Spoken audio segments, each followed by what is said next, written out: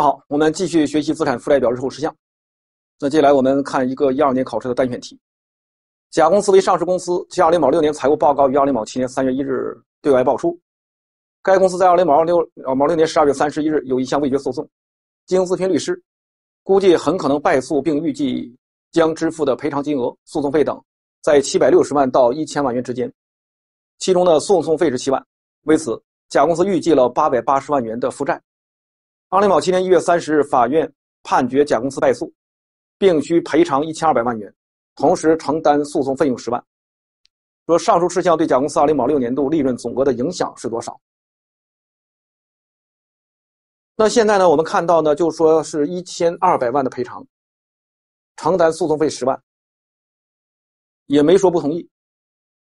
那你肯定要把它全部计入到报告年度。那报告年度就应该是。利润总额一个诉讼费要承担，另外之后赔偿一千二一千二百一呗，这个相对来说比较简单。那选项 D 肯定是正确。我们看下面一个单选题，这是零九年新制度的一个考题。甲公司二零卯八年十二月三十一日应收乙公司账款两千万，按照当时估计已提换量准备二百万。二零卯九年二月二十号，甲公司获悉乙公司于二零卯九年二月十八日向法院申请破产，甲公司估计应收乙公司账款全部无法收回。甲公司按照净利润的百分之十提取法定盈余公积。二零卯年八年度的财务报表于二零卯九年四月二十日经董事会批准对外报出，不考虑其他因素。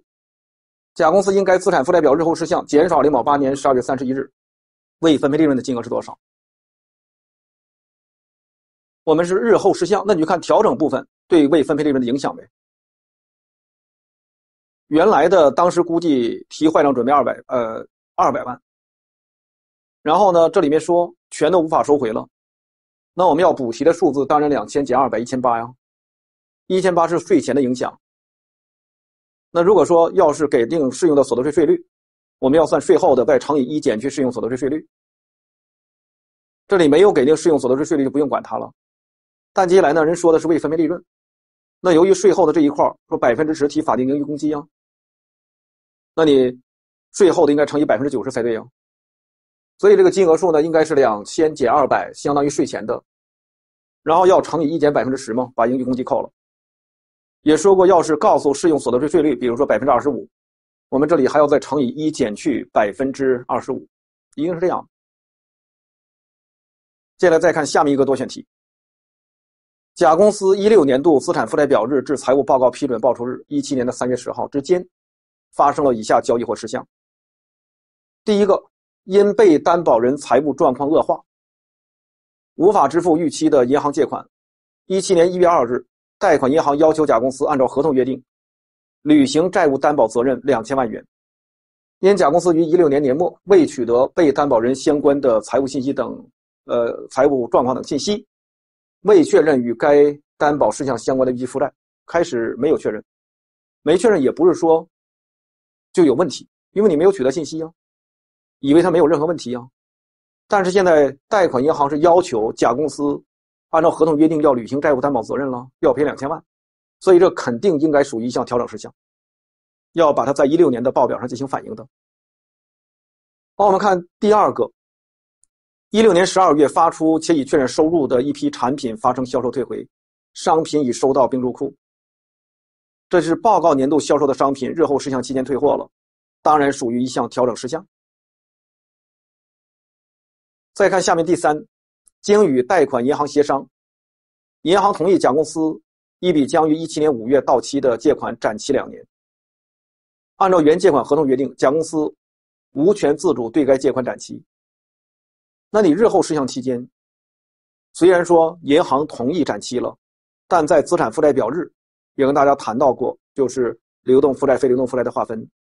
如果企业无权自主展期的，虽然日后事项期间展期也改变不了，在资产负债表日属于流动负债的性质，所以它不应该属于调整事项。你不能说由流动负债把它调整调整到非流动负债的。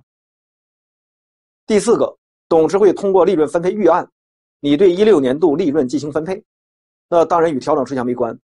这个事项呢，应该是要进行披露的，属于典型的非调整事项。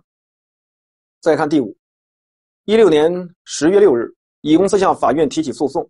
要求甲公司赔偿专利侵权损失六百万，至一六年十二月三十一日，法院尚未判决。经向律师咨询，甲公司就该诉讼事项于一六年度确认预计负债三百万。一七年二月五日，法院判决甲公司应赔偿乙公司专利侵权损失五百万。那这个呢是报告年度资产负债表日已经确认预计负债了，结果日后事项期间赔偿的金额跟原来不一样，显然要作为一个调整事项来进行处理。第六，一六年十二月三十一日，甲公司应收丙公司账款余额是一千五百万，已计提的坏账准备是三百万。一七年二月二十六日，丙公司发生火灾造成严重损失。甲公司预计该应收账款的百分之八十将无法收回。我们知道这项应收账款不能收回的事实，在资产负债表日是不存在的，是日后的发生的所造成的。那在这种情况之下，它不应该作为调整事项，应该是作为非调整事项进行披露。说下列甲公司对资产负债表日后事项会计处理中正确的有：A 呢，对于利润分配预案，应在财务报表附录中披露已分配的利润，那应该是。利润分配预案的话，呃，肯定要进行披露的，属于一项非调整事项进行披露。B 呢，对于诉讼事项，应在一六年资产负债表中调整增加预计负债二百万。那也就是说，那一项预计的诉讼，原来呢是确认了预计负债是三百，那一七年二月五号，法院判决甲公司赔偿乙公司侵权损失五百。如果说我们要是认为，同意五百万，你要把原来预计负债给冲掉；如果不同意，要重新的估计。所以显然不会说调整增加预计负债是二百万。C 呢，对于债务担保事项，应在一六年资产负债表中确认预计负债两千。原来是认为没有任何问题，一点没确认，但担保这个事儿在资产负债表里已经有了。日后事项期间，呃，判赔偿的支出两千万呢，所以你要资产负债表日就要确认预计负债两千，这个是没问题的。D 呢，对于应收丙公司款项。应在一六年资产负债表中调整减少应收账款九百万。我们也知道，应收丙公司的款项，它并不属于调整事项，是日后发生情况的事项，当然不行。E 呢，对于借款展期事项，应在一六年资产负债表中将该借款自流动负债重分类为非流动负债，不可以的，不能分，它就是流动。只要是无权自主展期，无论日后事项期间是否和银行签订展期合同。它都是资产负债表日是作为流动，那这个 A 和 C 是正确的。我们下面是第三节非调整事项的会计处理。第一个是非调整事项的处理原则。非调整事项我们前面也谈过它的概念，是说在日后发生情况的事项，事项有的重要，有的不重要，重要的要进行披露，你大致知道这就可以了。至于呢披露什么，一般我们考试往往并不要求，你就知道它呢要进行披露。还有一点要进行说明的是。在日后事项期间，董事会的预案里面，你分配的现金股利，那么这一块呢，呃，应该是作为非调整事项进行披露的。好，我们看一下教材的例六，甲公司一六年度财务报告附录中对资产负债表日后发行债券的说明。其实这是一项非调整事项，就应该是怎么进行披露就完了。你把这事实说一下，比如他说一六年十月十七日，经中国证监，呃，中国证券监督管理委员会核准。甲公司获准向合格投资者公开发行债券的面值不超过二十个亿，还二十个亿，呃，公司债券。本次公司债券采用分期发行的方式，首次发行债券面值不少于呃总发行面值的百分之五十，自核准发行之日起六个月内完成。其余债券呃各期的发行，自核准发行之日起二十四个月内完成。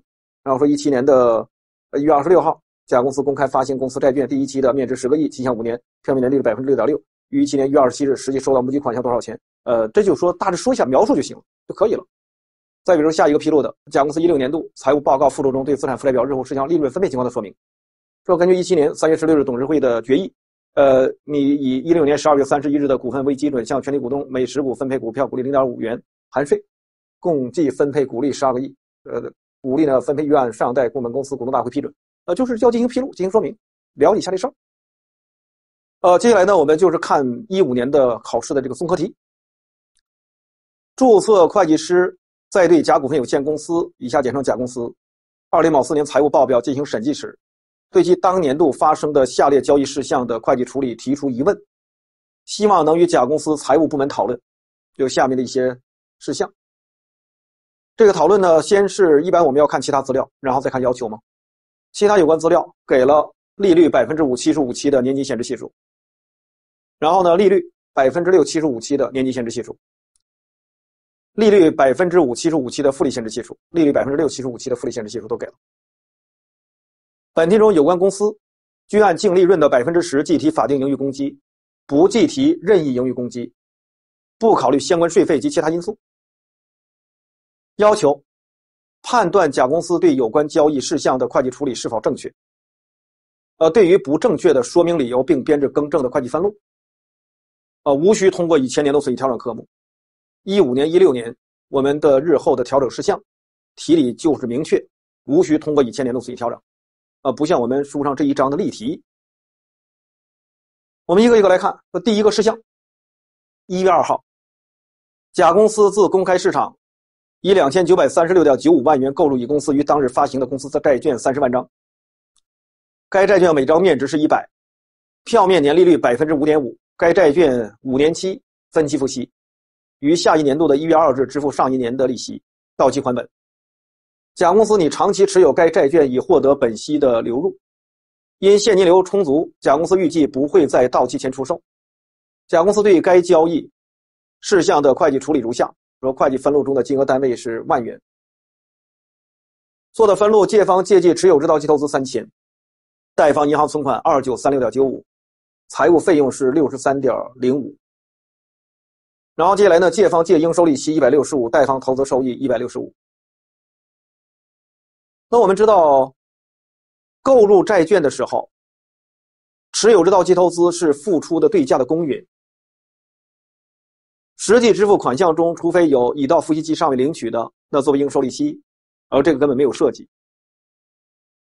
那如果有相关费用，也要进到成本里面去。那这笔分录呢，显然就是不行哦。持有至到期投资记录的金额数应该是二九三六点九五。但是这里面反映的是三千，不行啊。然后接下来我们算投资收益时，也不是面值乘以票面利率计算的，它只是按照面值乘以票面利率的三十万张，每张的面值是一百，这应该是三千哦，三千乘以百分之五点五，一百六十五，应收利息没问题，按照面值票面利率计算，而投资收益要体现期初摊余成本乘以实际利率计算，但是这个实际利率没有给。没有给给定了年金限制系数、复利限制系数，你要求我们要自己进行计算。你要会判断啊，现在购入这时刻支付的款项是二九三六点九五，而债券的面值呢应该是三十乘以一百，应该是等于一个三千。那你会看到，市场利率就是我们的实际利率，肯定比票面利率百分之五点五要高。你别到时候选百分之五的，出个方向路线错误就麻烦了。那你选百分之六呗，百分之六试算。当你按照百分之六把未来的利息和本金折现时，要和二九三六点九五正好相等，那个利率就是实际利率嘛。所以我们说，第一个事项，甲公司的会计处理不正确，不正确的谈理由呗。你划分为持有至到期投资的，那要按照实际利率法采用摊余成本计量，不能按照面值与购入价款差，你直接计入计入当期的损益。所以我们一个更正的分录就是。要把财务费用给冲了，它的六十三点零五，应该借财务费用贷方持有至到期投资利息调整，你要反映到利息调整里去啊。面值部分反映到持有至到期投资一级科目成本，啊，就反映到成本利息科目。面值和公允的之间的差利息调整啊，然后接下来我们就要算算这实际利率啊，因为你真正算投资收益时，应该是要按照期初摊余成本乘以实际利率计算。我们把。以后各期的利息，每期呢都是一百六十五，然后要乘以利率百分之六七十五期的年金限制系数。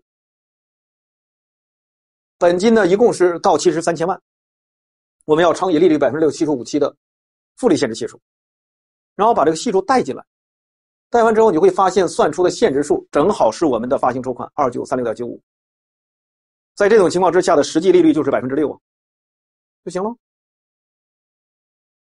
实际利率百分之六，我们真正确认投资收益数呢，就应该期初摊余成本二九三六点九五乘以百分之六吗？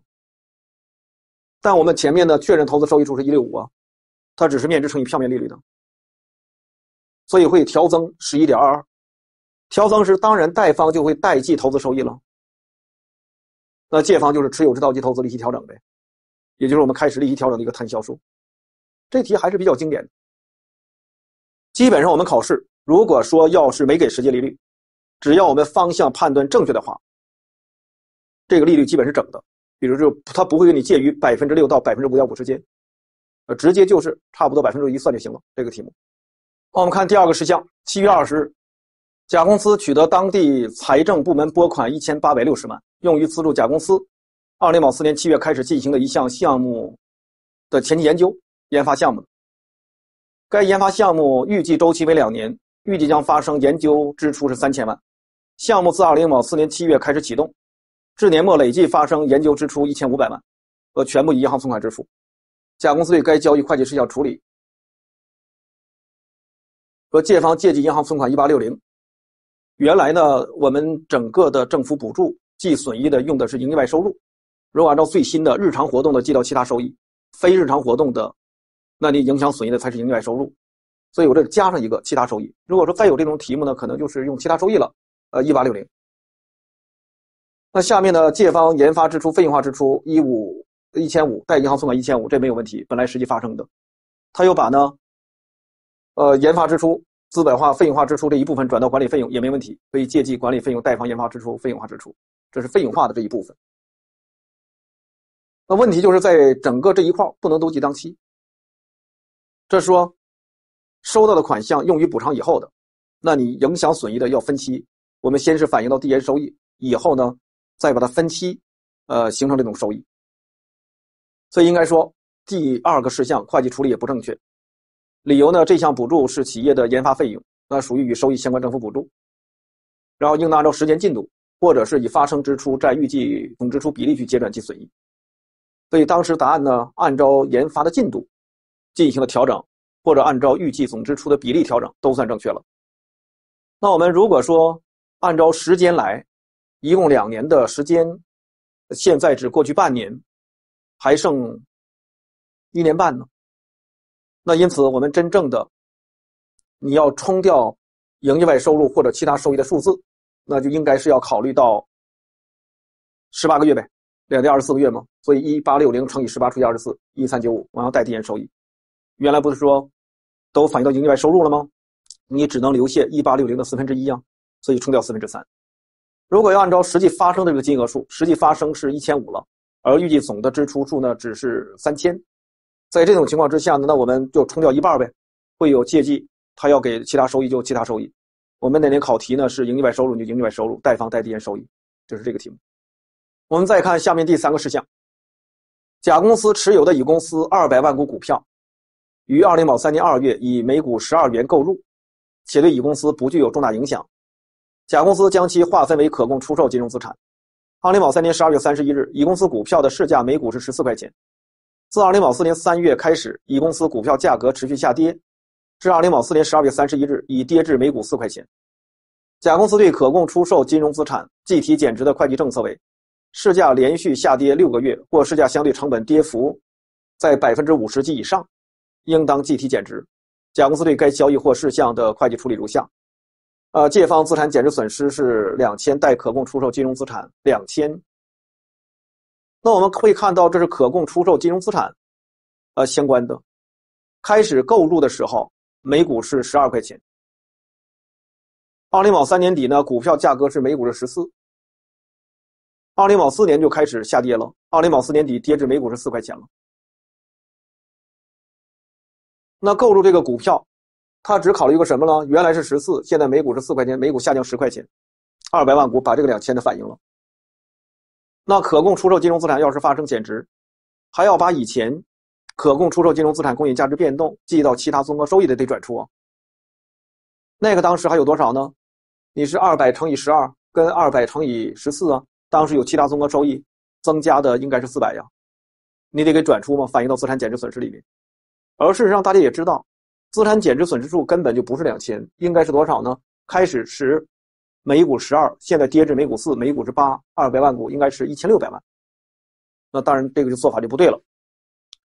事项三，甲公司会计处理不正确，理由：提减值时要把原来的有过其他综合收益的都冲了，转到损益里面。这个题目呢，其他综合收益原来应该是贷方的，因为是公允价值曾经由十二到十四上升了，我们冲掉呢借记其他综合收益，贷方资产减值损失四百。好，再看第四个事项。八月二十六日，甲公司与其全体股东协商，由各股东按照持股比例同比例增资的方式解决生产线建设资金的需求。八月三十日，股东新增投入甲公司资金三千二百万。甲公司将该部分资金存入银行存款账户。九月一号，生产线工程开工建设，并于当日及十二月一日分别支付建造承包商工程款六百万和八百万。甲公司将尚未动用增资款项投资货币市场，月收益率百分之零点四。甲公司对该交易事项的会计处理如下：说借记银行存款三千二，贷方资本公积三千二。然后呢，借在建工程贷银行存款一千四，又做了借记银行存款贷方贷记在建工程三十八点四。又给了一个计算的过程，这过程说有没有动用的资金存在银行里面取得的收益，但是我们知道这部分资金根本就不属于专门借款，只有专门借款的资金有被动用部分才可以考虑冲减资本化金额或费用化金额，那这笔分录肯定是不对了。然后呢说收到的这笔款项，他呢股东投入的借银行存款贷资本公积三千二，呃要不要更正？那看他怎么讲。如果说在工商都办理好了增资手续，肯定要反映到股本里面去，不是资本公积，只是一种接受投入，工商没有变更，你可以不用更正，就在资本公积里也可以。所以更正不更正那一笔由资本公积转不转实收资本，应该都没有问题，他也不会算你的错误，更正了也不会算错误。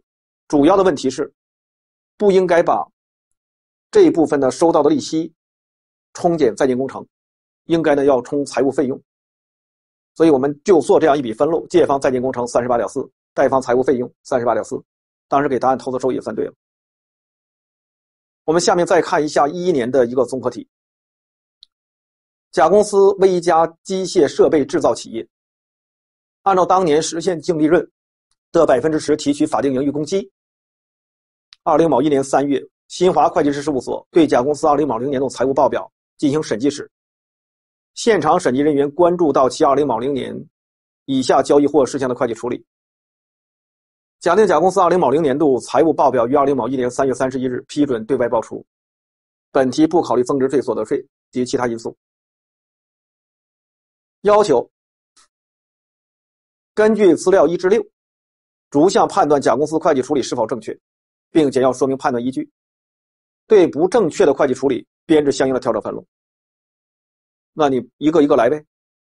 第二，计算甲公司二零某零年度财务报表中存货、营业收入、营业成本项目的调整金额，我减少数以负号来进行表示。我们一个一个看。第一个事项，一月一号，甲公司与乙公司签订资产转让合同，合同约定，甲公司将其办公楼以四千五百万元的价格出售给乙公司，同时甲公司自二零某零年一月一号至二零某四年十二月三十一日止期间呢，可继续使用该办公楼。但每年末需支付乙公司租金三百万，期满后乙公司收回办公楼，当日该办公楼账面的原值是六千万，以计提折旧七百五十万，没有提减值准备，所以你看这块谈到它的账面价值，原价减去累计折旧啊，会形成一个账面价值，那应该是五千二百五十万，预计上可使用年限三十五年。那我们再看。同等办公楼市场售价是五千五百万。我们现在的办公楼合同约定以多少价格出售的？这是属于它的售价。那售价呢是四千五百万。同等办公楼市场售价五千五，售价是低于公允。然后市场上租用同等办公楼需每年支付租金五百二十万。这是一项售后租回交易形成经营租赁，然后然后要说售价低于公允价值，你要是有损失的，当然是有损失啊，损失我们会看到是多少呢？应该是七百五，账面价值五百五二五零，售价是四千五啊。那这个损失要是能够得到补偿的，我们要递延；不能得到补偿的，当即全部确认为损失。我们现在每年需付的租金。是三百万，市场上需付的是五百二十万，一年是差了二百二十万，我们少付二百二十万。那现在这个时间，二零卯零年一月一号到二零卯四年底，一共是五年的时间。显然，二百二十万乘以五，比这个损失七百五十万肯定是多了。也就是说，这部分损失能够得到补偿。那这个我们要清楚。一月十号，甲公司收到乙公司支付的款项，并办妥办公楼的产权变更手续。甲公司会计处理，二零卯零年确认营业外支出七百五十万，管理费用三百万。就是说，把整个办公楼认为都卖掉计营业外支出了，租金呢三百万计管理费用了。那这肯定是不行的呀。要说他的会计处理不正确。售后租回交易形成经营租赁，看他是不是按照公允价值达成的？我们也谈到了，如果说按照公允价值达成的，没问题。售价账面价值之间的差，你要卖固定资产，营业外支出了，没问题。这个不是按照公允价值达成的，售价呢又低于资产的公允，并且这部分损失能够得到补偿，能够得到补偿就递延，以后来进行分。整个的损失是七百五，我们按照五年呗，来进行分就可以了。所以，在做会计会计处理的时候，他记的营业外支出七百五全部要冲掉，借递延收益贷放贷营业外支出，然后你把本年摊销多少，只要摊的是五分之一，五年嘛，每年摊销的相当，七百五十除以五，那你要记管理费用，不是营业外支出，借方管理费用贷方贷递延收益一百五十万，这是第一个事项。我们再看下面的第二个事项：一月十号，甲公司与丙公司签订建造合同，为丙公司建造一项大型设备。合同约定，设备总造价四百五十万，工期自二零某零年一月十日起一年半。如果甲公司能够提前三个月完工，丙公司承诺支付奖励款六十万。当年的受材料和人工成本上涨等因素影响，甲公司实际发生建造成本是三百五十万，预计未完成合同尚需发生成本是一百五十万。工程结算合同价款二百八，实际收到价款是二百七。假定工程完工进度按累计实际发生的合同成本占合同预计总成本的比例确定。年末工程能否提前完工尚不确定。甲公司会计处理：二零卯零年确认主营业务收入三百五十七万，结转主营业务成本三百五十万，工程施工科目余额三百五十七万与工程结算科目的余额二百八十万。差额呢七十七万元列入资产负债表存货项目中。那这个我们得经过计算才能够判断出他确认的收入到底对不对。结转成本三百五十万，那你预计是呃发生的那没问题。呃，关键收入。好，那看一下这个题目，经过计算的最后知道他的会计处理不正确。不正确的原因呢，他把收入啊有个六十万奖励款，在二零卯零年时已经计入到了收入总额，那不行。还没不到时候，那我们看一看年末的完工进度，已发生的成本三百五十万要除以合同预计总成本，这个数字三百五加一百五呗。那完工进度是百分之七十，这样呢，当期要确认的收入应该是四百五，不要用五百一去进行计算。合同总收入在二零卯零年只有最开始的初始的收入是四百五，所以乘以百分之七十，三百一十五。那你确认的费用没问题，三百五十。他确认的三百五十七，我们肯定要把它冲减四十二。那进行会计处理的时候，主营业务收入冲减四十二，借方主营业务收入。那我们正常是怎么做的？主营业务成本没有问题，是借主营业务收入贷主营业务成本差额工程施工合同毛利。你主营业务收入变了，当然我们要调整的就工程施工合同毛利呗，四十二万。要做这一步。之后呢，我们还要考虑什么问题？如果说合同总收入四百五十万，不是五百一十万，那六十万不算的话，就会出现呢，到资产负债表日二零二零年底，存货的预计总成本已经比预计总收入多了。我们总成本呢是已发生的三百五，完成合同还要发生的是一百五，一共是五百。那预计总收入已经小于合同预计总成本，所以我们要。确认合同预计损失，那你确认合同预计损失时，也就是说合同预计总成本减去这个时刻合同预计总收入，当然还是四百五，然后再乘以一减去百分之七十吗？等于十五万。因此还要补一个对他提减值准备的分录，借方资产减值损失十五，贷方存货叠加准备十五。这个事项呢，咱们会看到使存货减少多少？工程施工，贷方减少存货，因为我们的存货说是工程，呃，施工减工程结算，那你贷方呢肯定是存货减少了，对他提叠加准备十五万，也使存货减少十十五万，加在一起，这个事项存货减少五十七。因为我们后面会谈到有一个是影响存货金额的问题。再看第三个事项，十月二十号，甲公司向丁公司销售 M 型号钢材一批。售价为一千万，成本是八百万，钢材已发出，款项已收到。根据销售合同约定，甲公司有权在未来一年内，按照当时的市场价格，自丁公司回购同等数量、同等规格的钢材。这是一项售后回购。截至十二月三十一日，甲公司尚未行使回购的权利。据采购部门分析，该型号钢材市场供应稳定。甲公司会计处理二零某零年。确认其他应付款是一千，同时将发出钢材的成本结转至发出商品。那对于售后回购，会计处理时一定要看一看回购价格怎么定的。如果说回购价格事先定好，它就是一项融资，我们收到的款项要确认为负债，根本就不能确认收入。那如果说回购价格是按照回购日的市场价格回购的，这种情况风险报酬算转移，我们把商品卖掉就算卖，以后回购是算买。那这个题目咱们可以看到，说的是什么？有权在未来一年内按照当时的市场价格来进行回购，所以回购价是回购那时刻的市场。显然，我们发出商品是风险报酬算转了，转的话就应该要确认收入，然后再去结转已收商品成本，不是确认其他应付款。我们更正呗。所以这个更正，你会有借记其他应付款贷主营业务收入一千，他把库存商品转到发出商品了，那不是啊？确认收入就要结转已收商品成本，借主营业务成本八百，贷方贷发出商品八百啊，那就这样来处理。对于售后回购，差错更正也经常出，呃，这是一种方式。另外一种呢，就是说他确认收入了，不应该确认收入，也有过呀。那你把确认收入充了呗？那个充的话，就会借记主营业务收入贷其他应付款了。那就看他怎么说，反正要会辨别。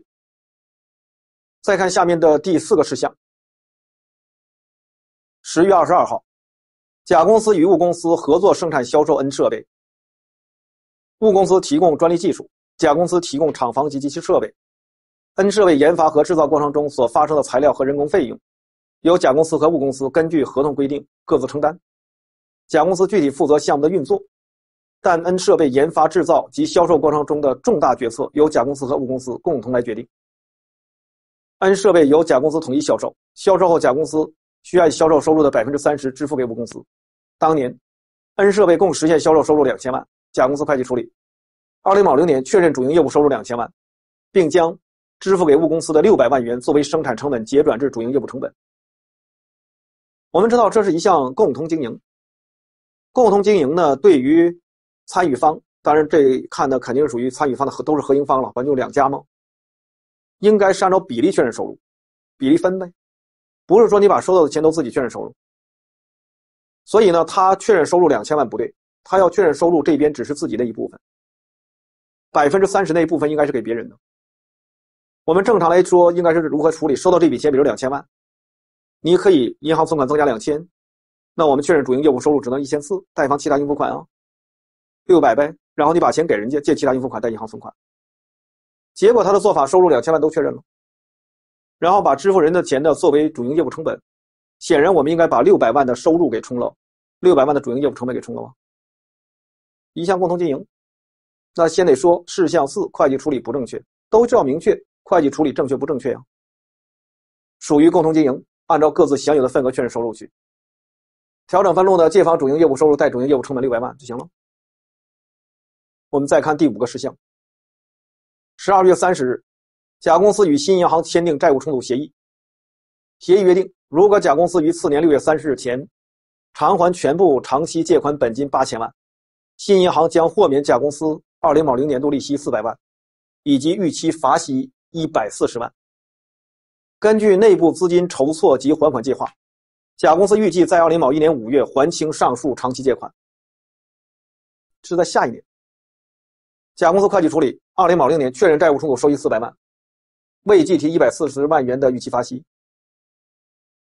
我们会计要求过去交易事项进行处理。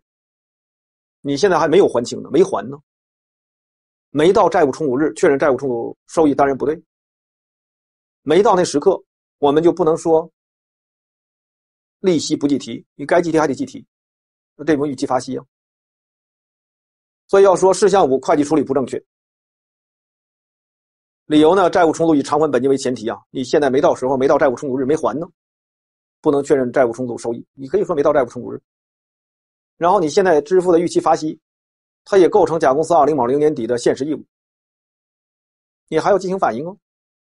所以债务重组收益就得给冲了，记到营业外收入，我们会有借记营业外收入，贷方代记长期借款或者应付利息四百。然后没有预提的预期发息要反映，要预计，因为它仍然是这时刻的现实义务，符合负债确认条件，借营业外支出一百四，贷方预计负债一百四。这样，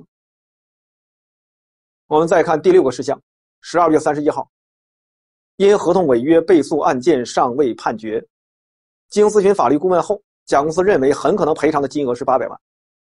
二零某一年二月五号，经法院判决，甲公司应支付赔偿金五百万。当事人的双方均不再上诉，甲公司会计处理。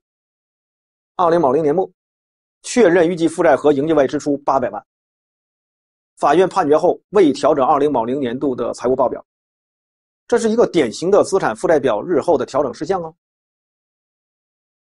原来呢，我们认为很可能赔偿的金额是八百万，法院判了五百万就够了。那够了，我们当然要把报告年度记到营业外支出的八百万，肯定得调整到五百万才是对的呀。那肯定要做出调整，所以事项六会计处理不正确。都是要相应的做这样的说明啊。理由呢，就是说它是一个调整事项了。我们怎么进行调整？那就说，预计负债的八百万肯定都冲掉，没有任何问题。这事已经了结了，没不是一种预计负债的概念了。你要预计负债有，就就就得，呃，要进行披露的呀。然后呢，我们贷方是营业外支出三百，原来是记的是八百吗？我们要冲掉三百，营业外支出最终反映的是五百万才对。那你说我们要是付钱了，你也得通过其他应付款，然后再做借记其他应付款、贷银行存款的分录。没付钱，那当然就其他应付款。后面这笔分录就把前面的一些涉及损益的，最终说调了盈余公积，一共呢是五百零三百分之十吗？调盈余公积，这我就不再一一的进行说明了。然后最后第二个，就是让我们算这些调整的数字。呃，调整数字在进行计算的时候，存货，一个是属于工程施工那个存货减少五十七，另外一个呢，你会看到，就是说有一个售后回购，会计处理时他记到发出商品不能记发出商品，我们那里面减少了一个八百。就是借方调整时借记主营业务成本，代记发出商品，那是一个。对于呢营业收入调整的，你从前面的分录里面也是可以看到的。呃，工程施工当时呢有一项，我们要把收入啊，他记错了，冲减一个四十二。然后呢再有，就是说，对于售后回购，他没有确认收入。那没有确认收入的时候，就说我们应该是。符合收入确认条件，那你相应的就要确认收入啊。还有一个共同经营的，他把收入记多了，那么收入呢应该是一千四，他记成两千，所以冲掉六百呗。最后营业收入调整的金额是三百五十八了。营业成本调整的，同样一个是售后回购，因为我们是确认收入就要结转一收商品成本啊。那这个呢营业成本会调增八百，另外一个他是把共同经营冲减了。那我们的主营业务成本调减了是六百，最终是二百，那大致是这么一个过程。这一章呢，我们应该是要掌握资产负债表日后调整事项、非调整事项的判断，然后呢，要掌握资产负债表日后调整事项的会计处理。当然也跟大家说过，就是我们的考试在会计处理部分，不见得涉及损益的通过以前年度损益调整，反正不通过的话，呃，你要把它给掌握好了就可以了。重要的非调整事项要进行披露，就可以了。那这章就到这里，谢谢大家。